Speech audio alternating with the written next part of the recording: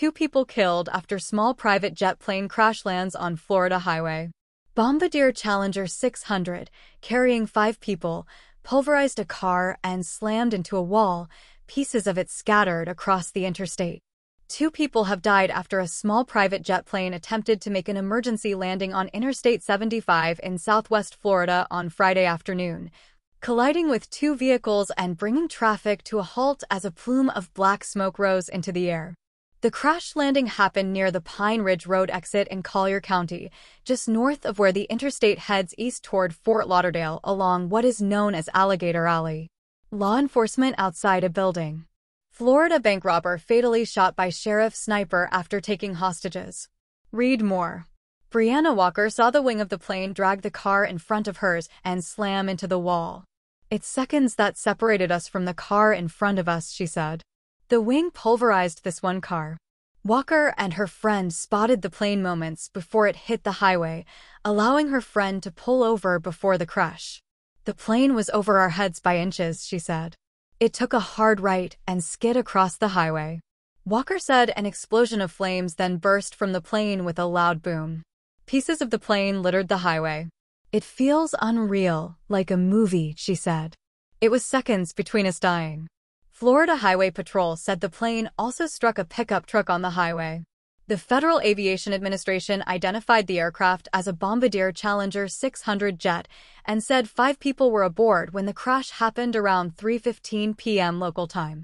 The plane had taken off from an airport at Ohio State University in Columbus, Ohio, at about 1 p.m. and was scheduled to land in Naples around the time of the crash, said Robin King, the Naples Airport Authority spokesperson. A pilot had contacted the tower requesting an emergency landing, saying they had lost both engines. The tower lost contact and then airport workers saw the smoke from the interstate just a few miles away. King said they sent fire trucks with special foam to the scene and three of the five people on board were taken from the wreckage alive. Adam Fisher, Collier County Sheriff's Office spokesperson, confirmed two deaths but said he didn't immediately know whether the victims had been passengers on the plane or were on the ground. Molly Best, Highway Patrol spokesperson, said three people from the plane survived and that two other people were killed. But she declined to specify whether the two fatalities were from the plane or the vehicles involved, saying next of kin were still being notified. According to the FlightAware.com aircraft tracker, the plane was operated by Hop-A-Jet Worldwide Charter based in Fort Lauderdale, Florida.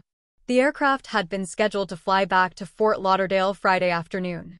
Hop-A-Jet did not immediately respond to an email and phone message seeking comment. A spokesperson for Ohio State University said the aircraft is not affiliated with the university and they had no further information about it. The FAA and the National Transportation Safety Board will investigate, with the NTSB leading the investigation. One NTSB investigator arrived at the crash site Friday afternoon, with several more expected to arrive on Saturday. They will document the scene and examine the aircraft, which will then be taken to a secure facility for further evaluation. A preliminary report about the cause of the crash can be expected in 30 days, the Florida Highway Patrol said in a news release that the southbound lanes of the interstate were closed and advised motorists to seek alternate routes.